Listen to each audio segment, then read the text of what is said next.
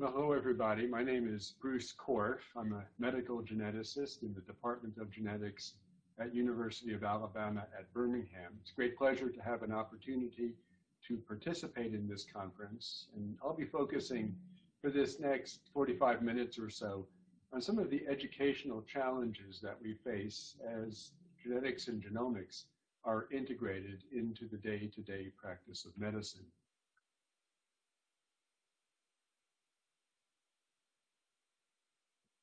These are my disclosures, neither of which is relevant to any of the things that I'll be talking about today.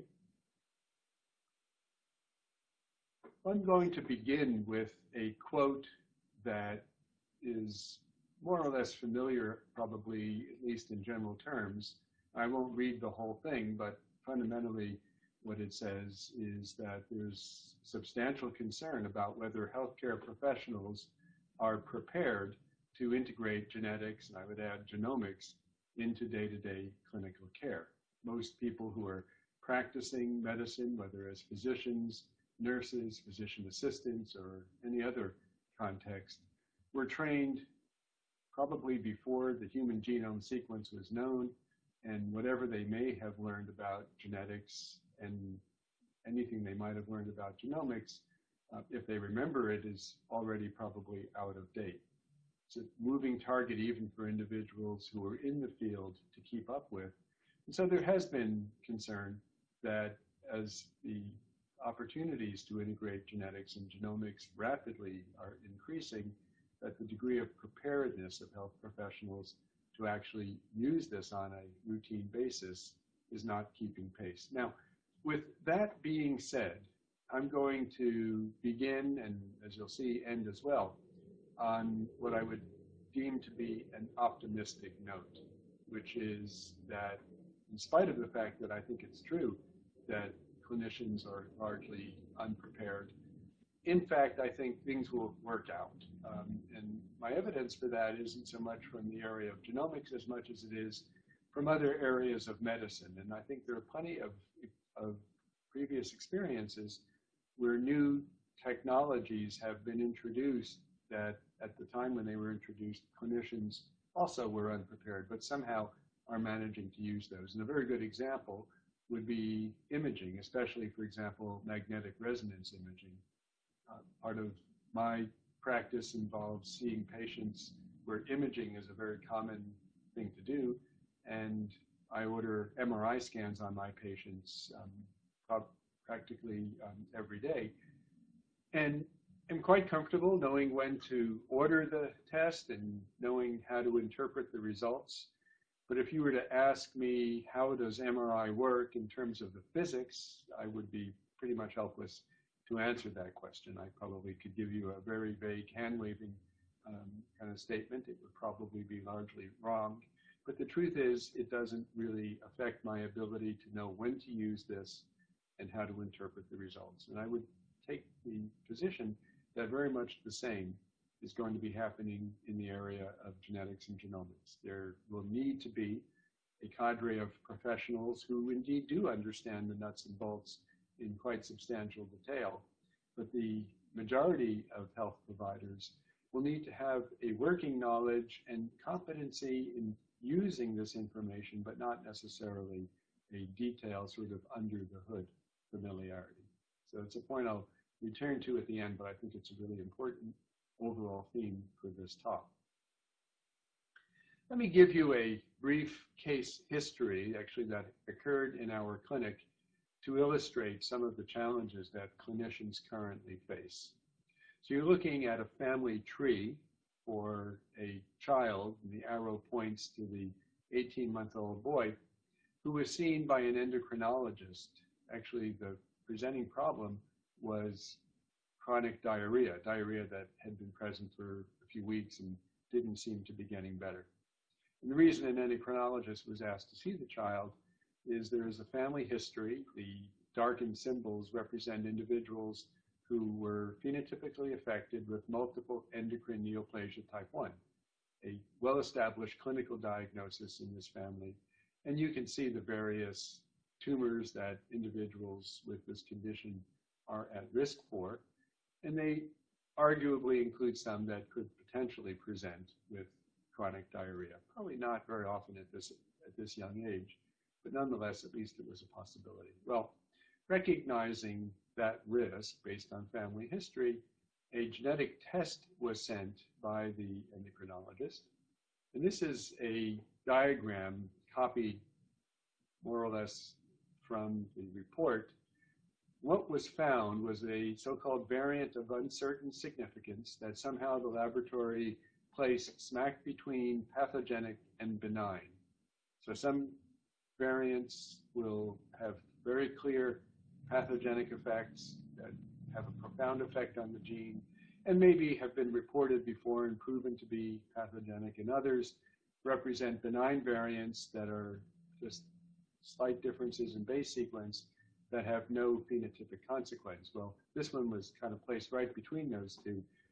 And generally, when a variant of unknown significance is found, the conclusion is what the term implies, that we aren't sure what this means, and therefore it shouldn't be used as a basis for clinical decision making. However, somehow it got interpreted in the medical record as this child has a mutation which indicates that he's affected with the condition. So that was the conclusion that was reached. Meanwhile, the mother was seen by a different endocrinologist, an adult endocrinologist, just based on her family history, who organized genetic testing separately from the child through the genetics clinic. And she was found to have a known pathogenic mutation, that is to say, a mutation that had been identified in other patients with this condition and was proven to have pathogenic significance. Turned out that that particular mutation was not present in the child, and the variant of unknown significance that the child had was not present in the mother, and therefore must have been inherited from the father. So it indicates this child, in fact, did not inherit the mutation that was responsible for multiple endocrine neoplasia in the family, and therefore would not be affected with that condition. Turns out, as you probably are aware, to be very, very difficult to erase a diagnosis from the medical record. I think it, to this day, probably is still in there in one way, shape, or form, but it's pretty clear that this child managed not to inherit the pathogenic mutation in the family and is not affected with diarrhea on this basis. It turned out, by the way, the diarrhea resolved over time and in the end turned out to be a gastroenteritis. So you can ask from the perspective of the clinician who ordered the test what kinds of competencies would be necessary to provide care to this child with this family history and how, uh, how did the physician fare from that perspective. Well, you can say the first thing is you need to know that the family history does convey risk that this child would inherit a mutation for MEN1, and the risk would be 50%, and the physician clearly did recognize that. You can say that the child would need, it would need to be recognized that the child might benefit from having a diagnosis. 18 months is a bit early to screen for MEN1, but it is something we do screen for in childhood. So generously, you could sort of put a check in that box. Then you could say, well, if the child is at risk of inheriting this and a diagnosis needs to be made, that MEN genetic testing is available, and clearly that was recognized, to then, when the result comes back, appreciate the significance of this variant of unknown significance. And well, that clearly was not demonstrated um, because this was interpreted by the clinician as a mutation uh, which would indicate the diagnosis, which was not the case. Might hope that a clinician would recognize that you would want to test an affected relative like the mother first to establish what actually the pathogenic mutation is, and that clearly wasn't done. Formulate an appropriate care plan. Well, that's a debatable point. Um, child obviously in the end doesn't have this condition, um, and probably this wouldn't have accounted for symptoms at that young age anyway. So you could ask the broad question. Indeed, what are the necessary set of knowledge and skills required both to analyze, interpret, and then to utilize, utilize genomic information in day-to-day medical practice. I would argue that one needs to focus, first of all, on competencies, not knowledge. So the question isn't what do I think that clinicians should know, it's what do I think they should be able to do, since that really is the ultimate test of whether they're going to be able to use this information or not. And I think one of the mistakes we often make in genetics, actually, in teaching, is to go into huge depth about the nuts and bolts of genomics, which is great fun and really interesting for those of us that do it, uh, but may not be appreciated entirely by students who are not going to be doing it, but may indeed be using it. And so I think we need to be very clear on what we do and don't expect clinicians to be able to do. I'll return to this point later, but we'll make it now that a lot of what's going to happen, I believe, is the development of point of care decision support tools that will guide clinicians in their use. So how much physicians need to be able to know how to do versus to be guided to do at the right moment um, remains a question. But I would not want to leave the impression that we are hoping to train a generation who are going to just know which key to press on a computer when told to do so. Um, and if you have any illusions that we don't think it's important for clinicians to at least have some understanding of the rationale for what they do, let the stern visage of Abraham Flexner set you straight that a health provider indeed should be able to explain why they're doing what they're doing not only what and how. So what I want to do in the next few minutes is to analyze genetics and genomics as it relates to medical practice from three perspectives. These are diagnosis, prevention, and therapy, which I think are the three main arenas in which genomics is important. So you see here, no doubt very small, a blood smear from an individual with sickle cell anemia. And this is, well, in some ways you could argue this was the first genetic test. And it's a test that is, from a technical perspective, very straightforward to do. And the reason why is that 100% of people with sickle cell anemia have the same exact single base pair substitution mutation.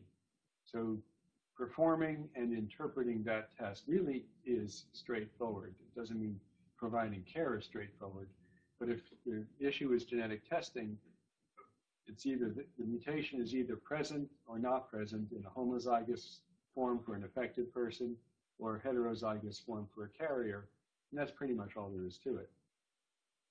Contrast that with cystic fibrosis, a relatively common autosomal recessive condition where there are probably at this point thousands of different mutations that have been found. However, just a couple of dozen mutations roughly account for 99% or so of individuals who are affected. Actually, one particular mutation itself accounts for about two thirds of all the mutations in this gene.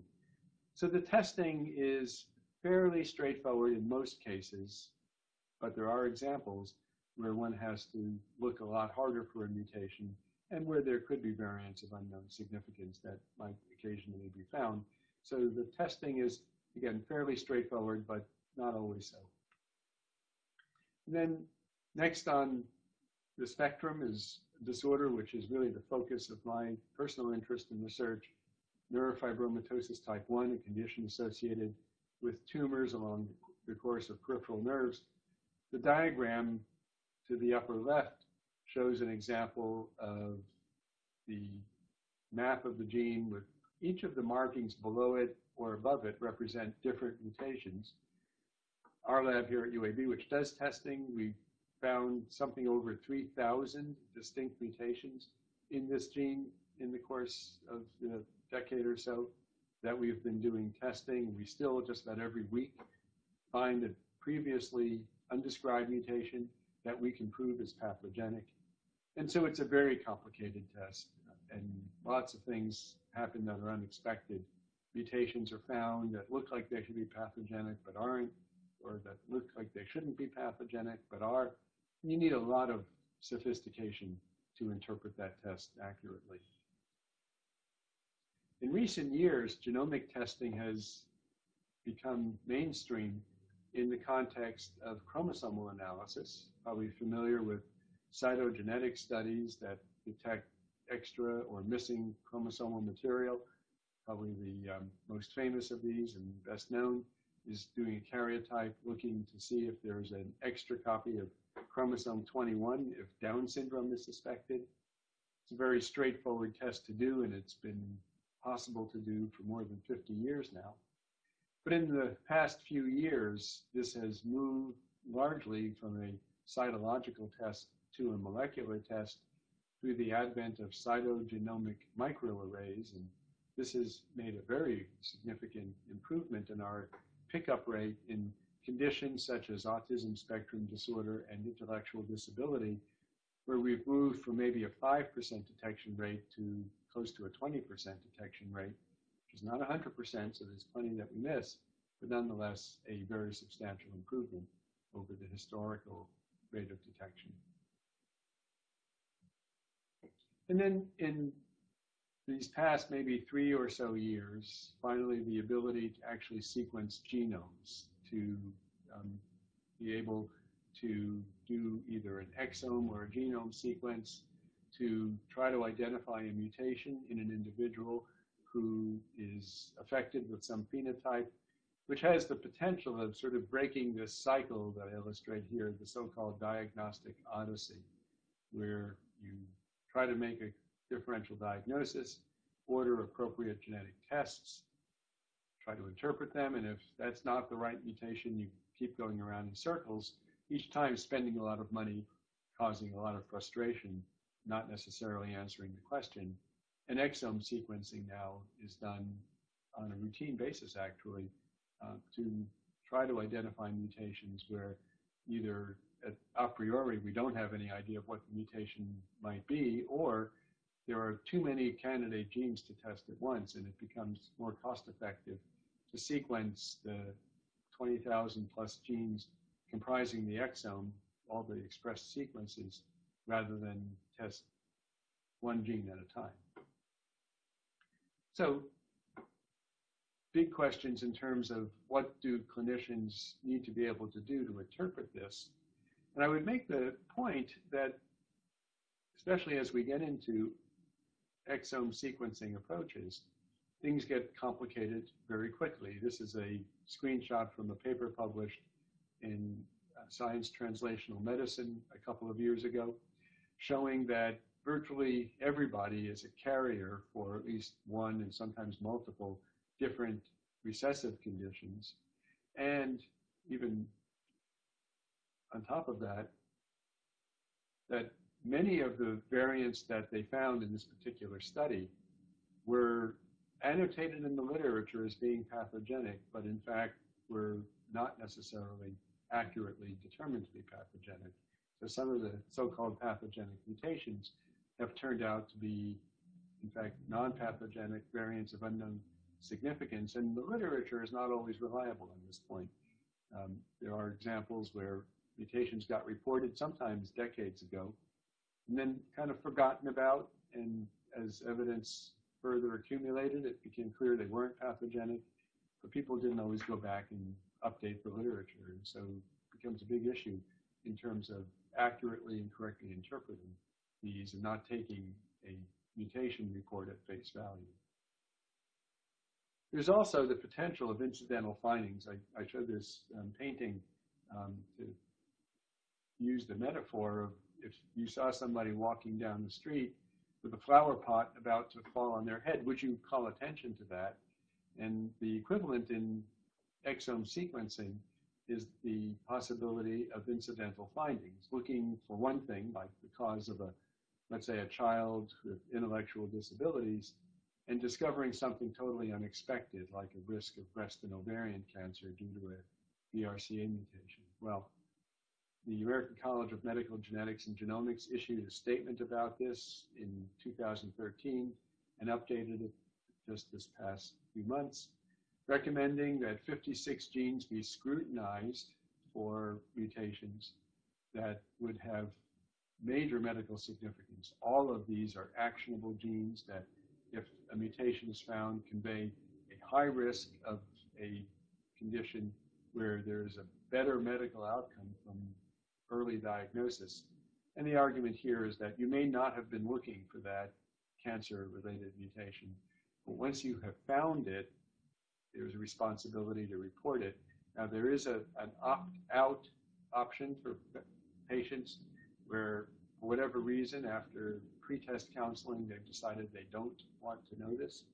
Um, so far as, I'm, as I understand it from the community, and I can tell you it's been true in my own patients, uh, very few choose to opt out, um, given the potential even of life-saving information about conditions that predispose to cancer or to cardiac arrhythmia. But anyway, the opt-out is, is at least offered as a possibility.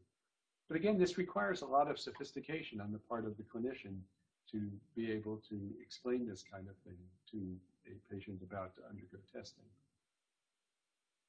And the danger is that as you look at the genome sequence and you think back to, well, what did you learn about genetics or genomics in, well, high school, college, medical school, nursing school, or whatever your postgraduate education was. And if there's one thing you remember, it's probably that the genetic code is a three letter code. Three letters encode any particular amino acid. And it's easy to get lulled into asking yourself, well, just how hard could that be if it's just a three letter code? And some people use the metaphor of the genome as the book of life. And if you were to stick with that metaphor and say, so what is an example of a book that uses three letter words? This may come to mind. And, you know, is, is it as simple as reading a Dr. Seuss book to interpret the genetic code? So my argument would be that no, it isn't. That if you do want to use a literary metaphor in genomics, this is a better book to be thinking about.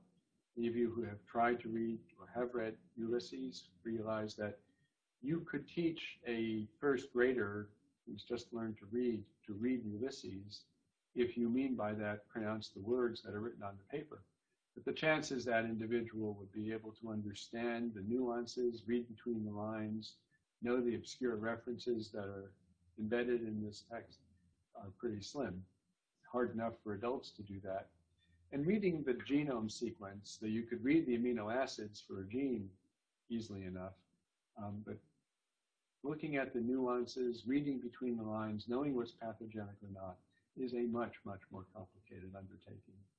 And if you want to stretch a literary metaphor one more step, it is not difficult to reach a point where you pass through the looking glass and things you thought you knew don't turn out to be true. Mutations that look pathogenic aren't. Um, epigenetic changes occur. So there's a lot of nuance here that requires, in turn, a lot of sophistication. What about in the area of prevention? Well, geneticists have been involved in population scale prevention since the 1960s with the advent of newborn screening. And the theory here was that if you could make a diagnosis before the onset of symptoms based on identification of a analyte in blood, which indicates a condition like PKU, phenylketonuria, due to the inability to break down phenylalanine, that you could institute treatment that takes the form of dietary manipulation and avoid a devastating outcome. And if you wait for symptoms to occur, it's too late. So the idea was to test right in the newborn period and then institute treatment promptly if a abnormal screen occurs and, and to confirm the diagnosis.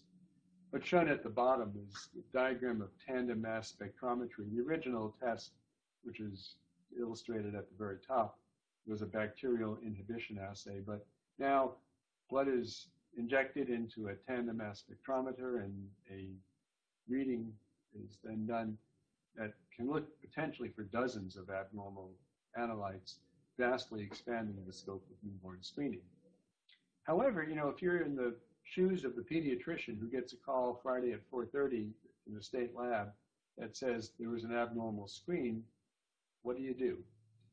And the chances are most pediatricians, and it will be a pediatrician because these are newborns, most pediatricians, if they learned about some of the metabolic disorders, have had very limited experience with them, and it may have been years since they took care of a child with some of the more obscure conditions. So how would one expect them to know what to do in that late afternoon call?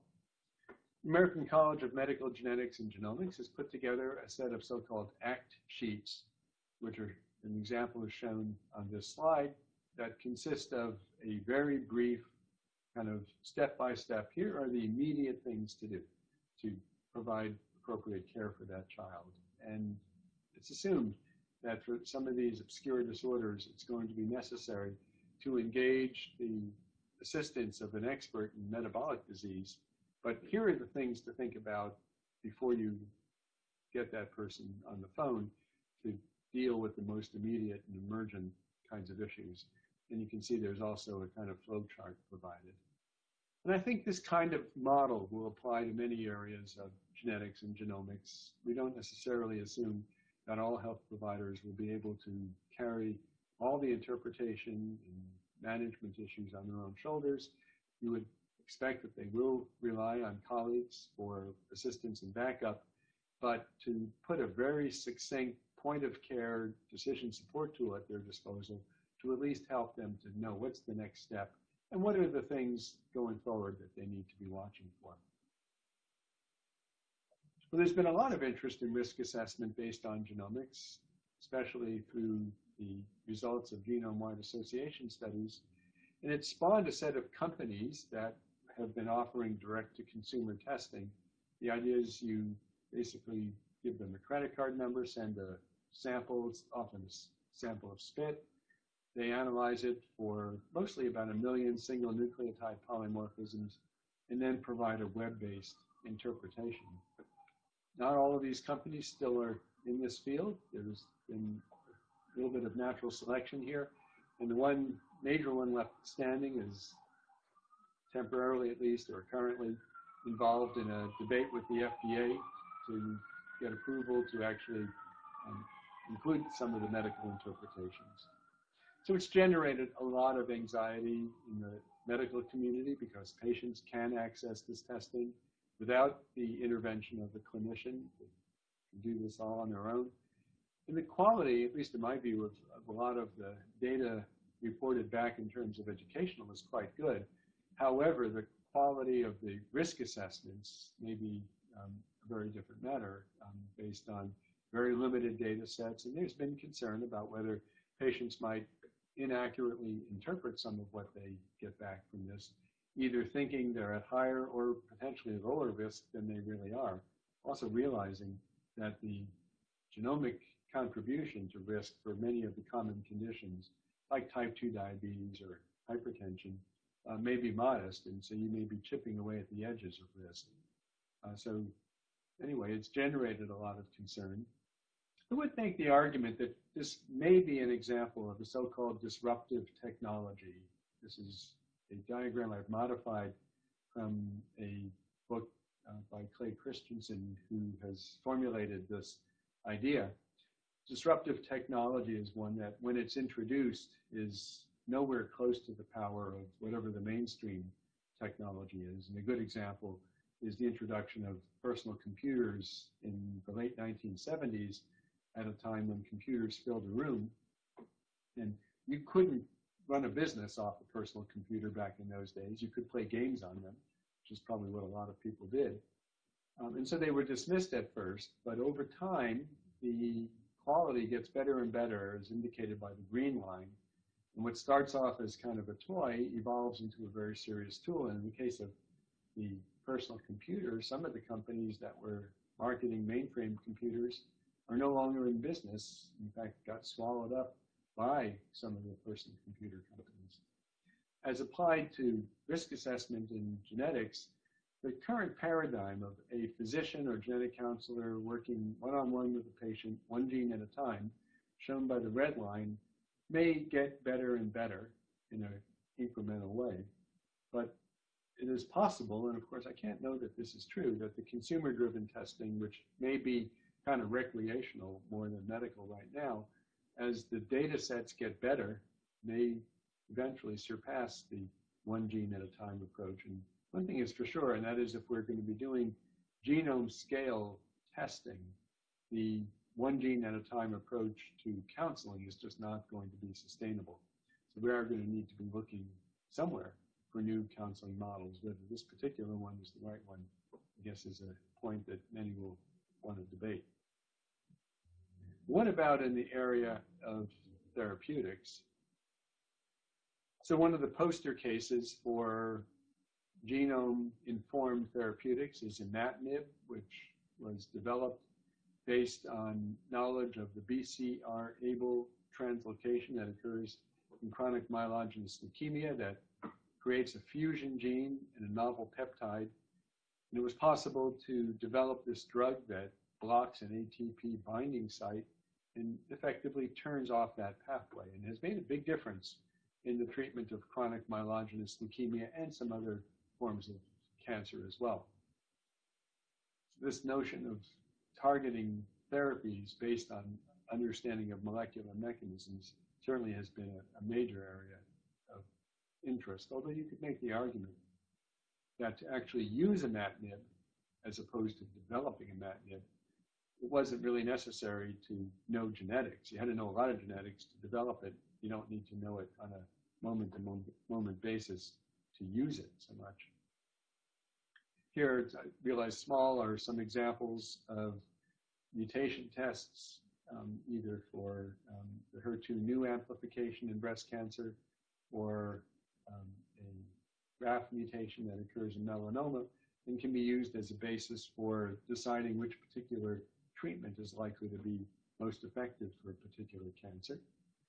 The diagram at the right shows the ability to do cancer genome analysis, which is being done on an increasingly wide basis to try to get to the bottom of particular cancers, what the various catalog of genetic changes is that drives that cancer into target therapy according to the specific fingerprint or profile of the tumor. So another area where genomics has really moved to center stage. And then pharmacogenetics, where this is the pathway both for activity and excretion of warfarin, commonly used blood thinner, where two polymorphisms, one involved in its target, VKORC1, and one involved in its excretion, are both subject to genetic modification by particular common mutations in the population. And using these as a basis for deciding the exact dosage of warfarin is pretty well established to speed up the achievement of a therapeutic dosage that is not to give too much, which causes a risk of hemorrhage, nor too little, which causes a risk of blood clotting. What's debated is not whether this is clinically valid, but whether it's clinically useful. Can you get the testing in a timely basis, and is it cost effective?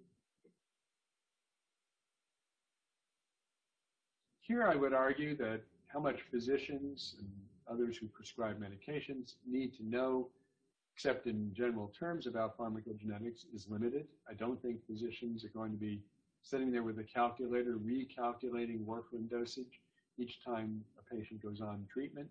But one could argue, as this is demonstrated to be clinically useful, that the electronic prescribing systems should integrate the results of this testing into the prescribing information. And so when you're going to put a patient on medication, it should flag, well, this is somebody you need to adjust the dose from whatever the standard starting dose is to something else because they're at risk of hemorrhage, for example. But with all of this now, having made some comments about diagnosis, population um, screening and prevention, and therapy, how do we approach some of the educational challenges? First, from the professional genetics point of view, first of all, you should know that there is such a thing as a professional geneticist, does generally a two-year residency in genetics, typically following some kind of residency in an ACGME accredited program. in areas like pediatrics or adult medicine, for example. Uh, but now, on three occasions, the genetics community has held meetings at the Banbury Conference Center near Cold Spring Harbor. The first in 2004 to talk about how to increase numbers of trainees.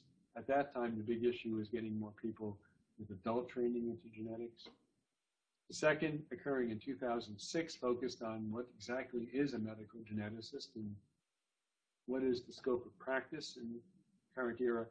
And the third, that occurred just few months ago, uh, looked at genetics training in the genomic era. How do we keep clinicians up to speed when they trained in an era where nobody was sequencing genomes, but they are now? If I were to summarize a lot of this into one slide, it's the notion of establishing a kind of vector of competency. Uh, we need to do a better job of marketing genetics and genomics and making sure that students are aware that there are career opportunities there and being sure that students who matriculate into medical school at least have some basic familiarity with genetics and genomics. That needs to be integrated into medical education and residency. And over time into their CME and especially maintenance of certification activities, which provides a great opportunity to reach individuals who are currently out in practice. Indeed, the importance of genetics and genomics and medical education was highlighted a few years ago by a study, or really a project undertaken by Howard Hughes Medical Institute and the Association of American Medical Colleges. It was a committee that I served on. And they were concerned about the basic science background that undergraduates were getting before they matriculated in medical school, and then subsequently um, the training that they actually got in medical school. This is the competency that was identified for genetics. Everybody came to this meeting with a laundry list of things they thought students should be able to do or to know. And everybody was equally disappointed that their discipline got only a few lines or paragraphs. So I guess it was, if you measure success by everybody's equally unhappy, it achieved that. But in fact, I think it maintained a very good focus on what's really important. And in this case, this covers a lot of territory. This is the competency in genetics. Now, I'll say this slightly predated some of the genomic testing now being done. So in that sense, it may be out of date. But I also asked the question, you know, where, for example, medical school admission very commonly requires knowledge of things like organic chemistry and calculus. Might it be more important to include genetics on prerequisites? And how often do you actually use calculus in day-to-day medical practice as opposed to genetics? So um, there have been some suggested changes in both pre-medical and medical curricula as a result of this. More recently, the National Human Genome Research Institute has been funding a group called the Inter-Society Coordinating Committee, ISCC. And the theory there was that a lot of the postgraduate training is under the aegis of professional societies, and they thought by bringing the professional societies together, they might be able to get synergy in terms of including genetics and genomics in the curriculum, both for residency training and maintenance and certification. So I chaired a working group on competencies in that process, and we identified six areas called um, observable um, professional activities um, entrustable professional activities, rather, um, EPAs, um, that basically say, what do you expect a clinician, in this case a physician, to be able to do? Like to elicit, document, and act on relevant family history, or utilize genomic testing to guide patient management. So there were six of those. Each of them then was defined in terms of a set of competencies that were written according to the ACGME six competencies model that you're probably familiar with. And I won't go into detail about these, except to refer you to the paper on this in Genetics in Medicine. We didn't expect that a one-size-fits-all approach would work, so there was no expectation that the exact competencies put forth in that document would, without modification, be useful probably for any clinician, um, whether a generalist or a specialist. But we thought this would provide a starting point. So if a cardiology group wanted to formulate the competencies relevant to a cardiologist, that this would be a jumping off point to do that. And the same could apply to an oncologist or a gastroenterologist. In any case, these have been published now and refer you to the article uh, to get more detail about those. The genetics community has done the same, met about three years ago to formulate competencies in medical genetics. I won't show you all of these. They were published in Genetics in Medicine and can be found on the acmg.net website. But these are, of course, focused not on the generalist clinician, but on the medical geneticist professional, uh, where obviously a much higher level of competency is expected.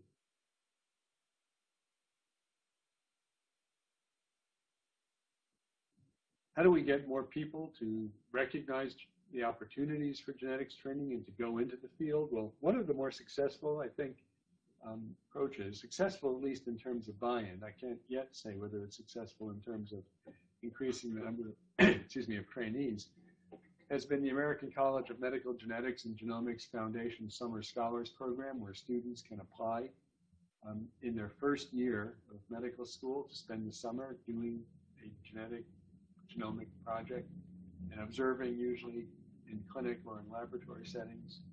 And now several dozen students over the past, I guess this is the fourth year it's been done, have taken place, uh, taken part rather in this, and have had a firsthand exposure. Now, you know, whether this will entice some to actually stay in the field and seek training, uh, or provide more sensitivity about the issues in genetics and genomics remains to be seen. But I think it's been a good program in terms of getting at least a buzz in the medical school class about the opportunities here.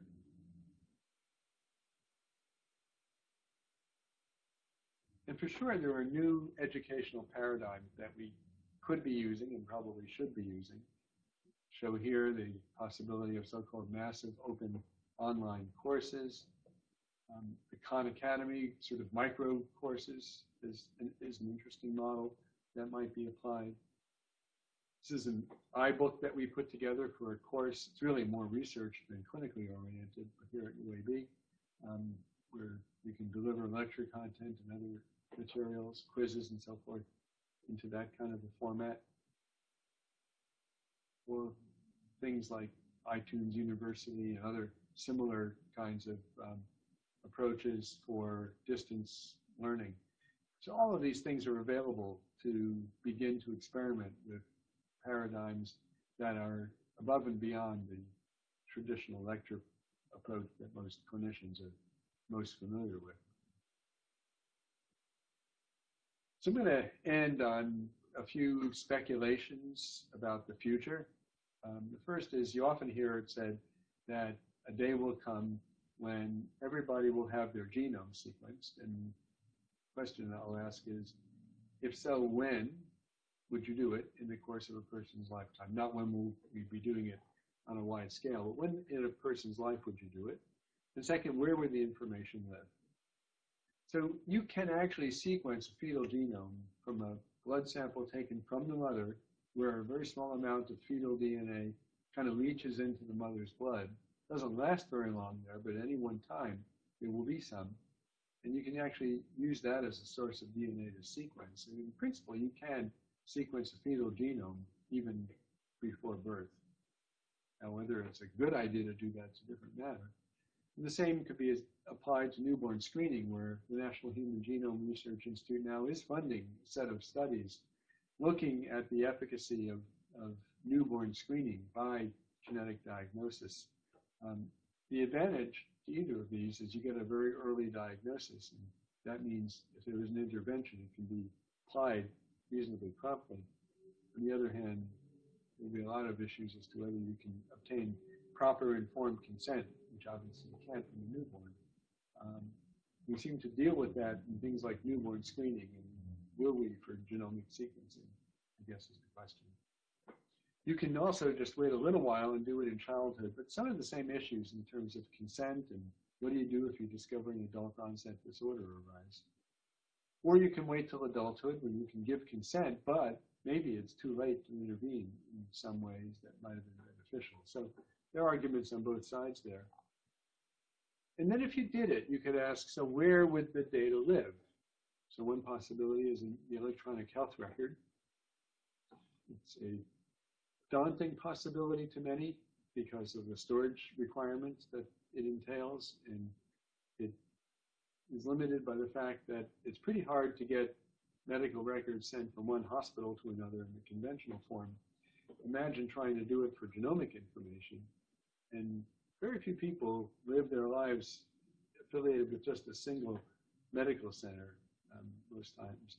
These days, somebody might be born in one hospital, give care as a child in another, and, and an adult as another. And also, people move around. And what happens if you're traveling the day something happens that your genome sequence could have been useful for?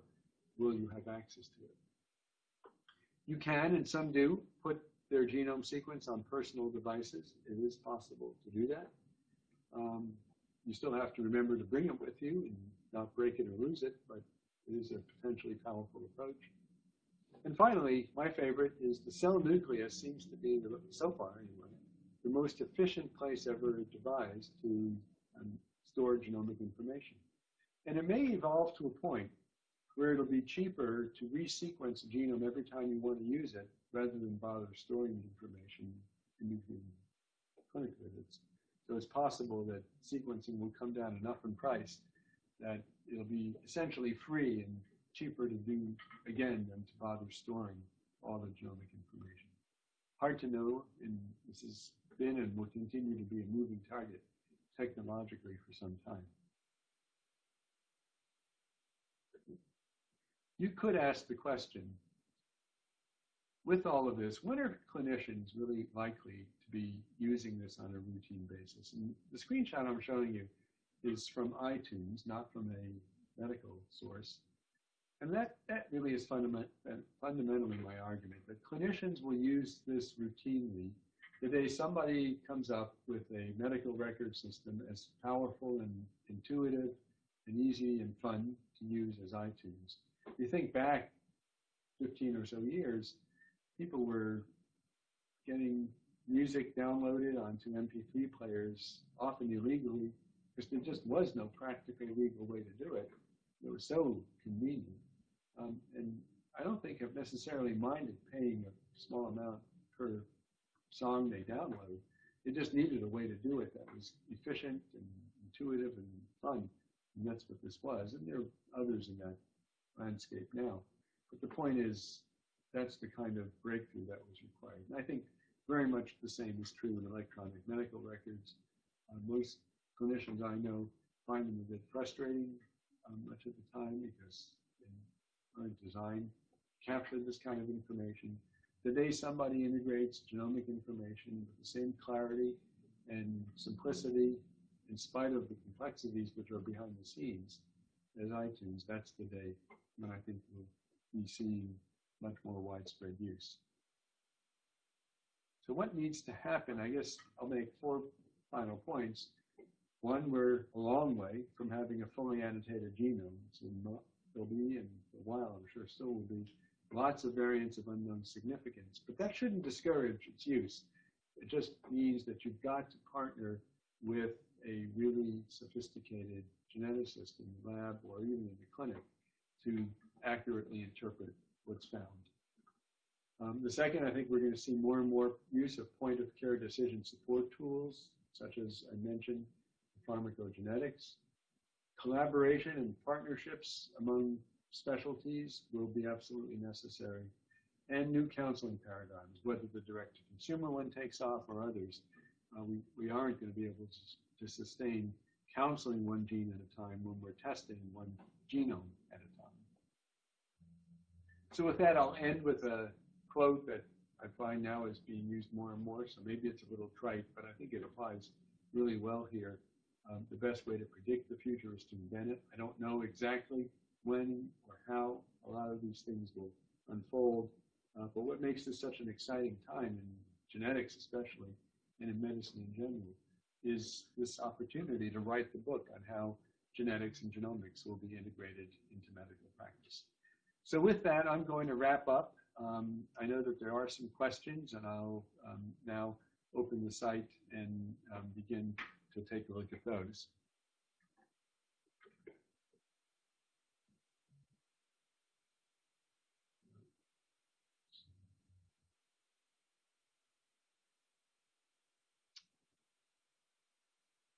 See where I sure oh I see it here. So the first question says developing medicines and treatments specific to individual genetic makeups to improve effectiveness is one thing. It is also possible to use genetic makeup to a population of the imperfections and defects and thus result in a more perfect society with the desired genetic makeup. Thoughts on the possibility and how to prevent it um, society does so. Well, I guess my answer there is that, you know, the sort of eugenic possibilities and what many would view as the kind of misuse of genomics to select for traits that somebody decides might be desirable. Honestly, I think we're a very, very long way from that. I actually am a bit of a skeptic, and I didn't quite say it this way, but I am about our ability even to predict major common disorders, you know, type 2 diabetes, for example. Um, people have been trying to get at that for quite some while. And I, my concern is that the genomic sort of makeup that predicts that may be so complicated and individual as to defy even that being able to um, be done. So, you know, the kind of things people talk about like athletic performance and intelligence and other kind of common traits, hair color, eye color, whatever you like, they're multifactorial. They involve the simultaneous effects of multiple genes. I frankly think it's it's really going to be difficult to um, select those to a degree that will really sort of achieve the kind of eugenic um, sort of fears that many people have. So I tend to worry about it less than um, how it's sometimes described. Right? Another question, the human is an imperfect entity subject to more imperfections from environmental influences. Can this technology be used to create the perfect human? Well, I think we've just answered that the answer is no. I'm not even sure what would define uh, the perfect human. So we'll move on. Um, an individual finds that they're predisposed to pancreatic cancer and how, how has it helped them aside from being depressed?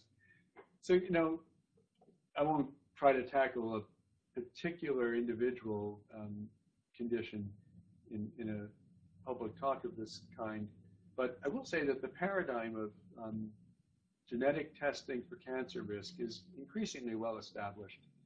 Um, the, the one where it's probably best established, or the ones, would be breast, ovarian, and colon cancer, where it's really clear that if you find you're a genetic risk, there are interventions. Now, you know, one of them would be mastectomy or um, surveillance. And this would apply to colon cancer as well. And there's absolutely no doubt that you can improve outcomes uh, with this knowledge. It becomes a lot tougher with some cancers. Pancreatic cancer, actually ovarian cancer arguably is in this category too. What makes both of them so difficult is that they the, the cancers can kind of hide um, in tissues deep inside the body until they get pretty far advanced and then can be hard to treat. Uh, there are surveillance approaches that exist, including for pancreatic cancer, and you know, I guess one usually gets testing done because of family history, and in that case, there's already a concern, and you know, I'm sure it, it is a, a, tough thing for people to deal with that on the one hand, um, but increasingly there are interventions that allow early diagnosis and promise better outcomes, um, especially for things like breast, ovarian, and colon cancer. But pancreatic cancer is subject to surveillance as well. Next question, uh, with the Affordable Healthcare Law in effect, could we see a future there being a requirement that everybody needs to submit to genomic identification um, and maybe it would increase efficacy for treatment and make medications more selective. Um, so, you know, I do think what you're going to find, I, I, don't think we're at a point anywhere close to a point where everybody's going to be required to have their genome sequenced. Um, debatable whether we'll ever reach a point where that'll become routine, but you know, I've kind of given you at least a little bit of discussion of that.